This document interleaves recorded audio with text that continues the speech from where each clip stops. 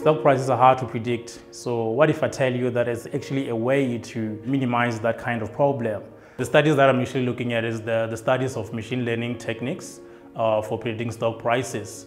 So the big idea here is to actually understand uh, the behavior of these uh, machine learning techniques on how we can actually alter them to predict stock prices. This will actually drive uh, investors and organizations to make informed decision on what stocks to buy.